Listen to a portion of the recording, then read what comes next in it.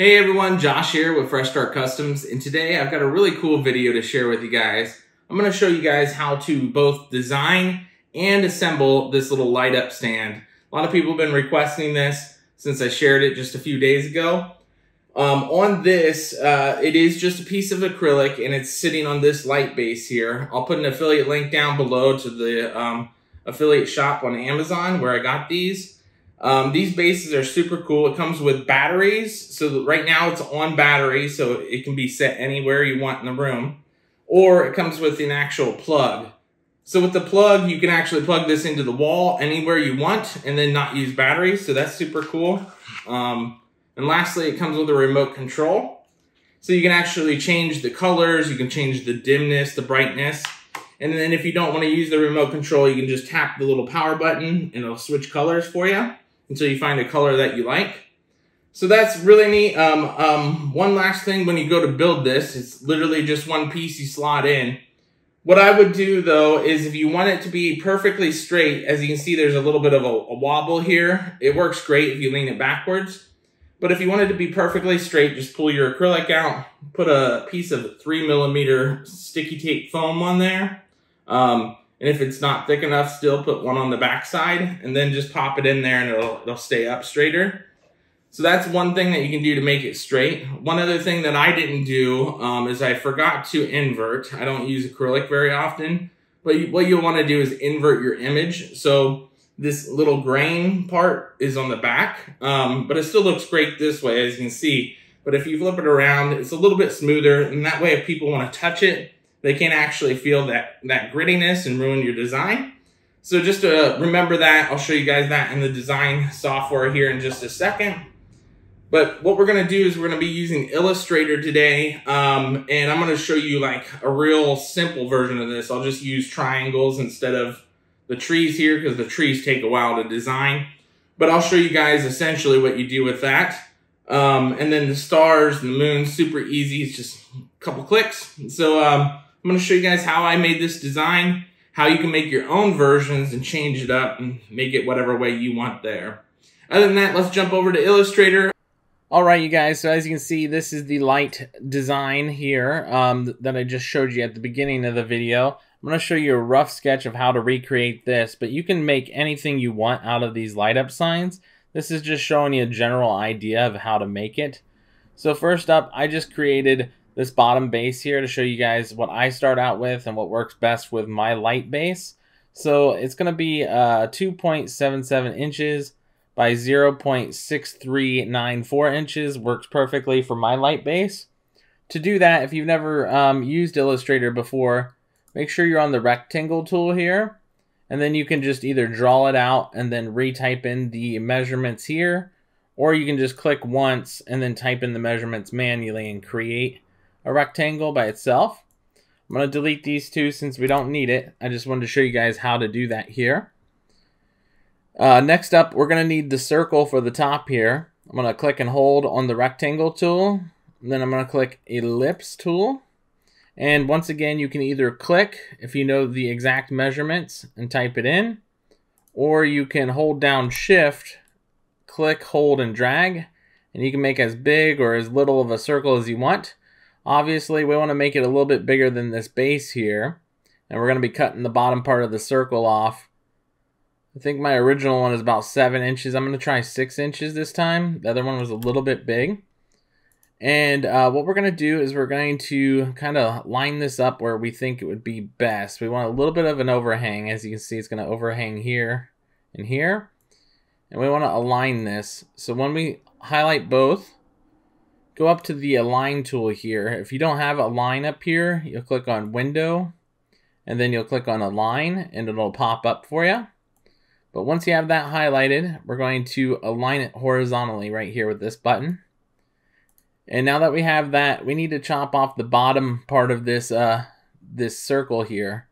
So what I'm going to do to make it easy is just click the rectangle tool again. I'm going to just draw a real big rectangle. I'm going to give it a little bit extra space up here too. So let's just go up to about right here. And what we're going to do is have this big rectangle selected and this uh, big circle selected. We're going to go to Pathfinder And once again, if you don't have Pathfinder, you can go up to Window and then choose Pathfinder again, just like the Align tool. What we're going to do is we're going to minus front. What that's essentially going to do is take this rectangle and chop off whatever is behind it here, which is the circle. So minus front, and then that's how we get this flat shape here, as you can see over here. Now all we got to do is grab our circle, hold down shift, and then move it and attach it right here. And we essentially have our uh, base made, and all we need to do is unite this together, these two, by clicking unite. But I'm going to hold off on that because there may be some things that I want to change and have this chop off on the bottom here. So we'll get to that here in just a second, just in case. But essentially, what we now need to do is draw out all of our items that we're going to be using. So for the stars, you just click and hold on the rectangle tool and then click star tool. Um, you can just click once, type in how big of a star you want. I'm going to just use the default here. As you can see, it's huge. Um, we're going to change that. We'll go back to your selection tool here. I'm going to hold shift so it doesn't uh, distort it. That's the only reason why I'm holding shift is uh, to prevent distortion. You can make these stars as big or as small as you want. We're going to go something like that. And then I just copied and pasted these. Uh, you can rotate them as well by grabbing the, the angle corners here. Um, the last time I just copied and paste, or you can hold down Alt while you have it selected and move them, and it'll create a copy. This time I'm going to just hold down Shift and make these different versions, just to show you you can make these in any form that you want. Um, you can edit this, you can create anything you want. You can even warp it like this if you don't hold down shift, but I just like them to be cohesive. But you get the general idea. Make as many stars as you want, like I did here. Now it's going to get to the harder part where we're going to have to start drawing by hand. So this is like the little pen tool here. You can just click on one point there to start it. And as you can see, it's going to connect. Um, so I'm going to go about halfway on this moon and then I'm going to click and then hold. While I'm holding, you can drag to create like a curve. And then um, it's already curving automatically. If you need that curve to break, which uh, I'll show you here in just a second, you can hold down Alt on that. But we're going to go something like this and we'll curve it a little bit extra. This is just a rough draft. You can go back through and change this. As you can see, it's still trying to curve. So what I'm going to do is hold Alt and click on that endpoint. And now it's a flat area. So I'm going to connect these two points, but I'm going to click and hold still so I can drag and make that curve like the moon there. There we go. Now that we've completed it, we can go back to our selection tool to see what it looks like. As you can see, I kind of messed up this curve here. So you can go back to your curvature pen tool, and then you can select that node, and then you can kind of warp it and make it look as good as possible. Um, you can take your time on it, make it look better. Um, you can make it swoosh out more. Um, you can do anything you want. This curvature tool makes it easier to just grab a node and then you can keep warping it until you find something that works best for you. So something like this essentially will work. Um, and it, it'll change every time. Obviously, you're drawing it by hand, so it's going to look different each time, and you can keep doing it until you perfect it however you want. Now, the hardest part in this one is going to be the trees, because it's just a, a, series of lines. So you can just uh, start out like something like this, and then just kind of do like jagged paths randomly. And it's going to take a long time to create a tree. So hopefully you get the general idea of that. So for this, I'm going to just use triangles, kind of like what I mentioned earlier in this video. I'm just going to use triangles for the tree. I'm going to draw these out really quick. And you can pretend that I flared it out just like I showed you. But essentially what you're going to do is you're going to create your trees and you can create them different and create them the same, whatever works. And then you can hold the alt or copy and paste them and you can kind of space them out something like this. And then once you have them all attached, you can make them nice and big. So they kind of flare off the screen here. Something like that right there. As you can see, I'm kind of matching this up. And uh, now that they're off the screen, you're going to just merge all these together with this Unite button. As you can see, they're all merged. That's what essentially is happening over here. It's merging that together.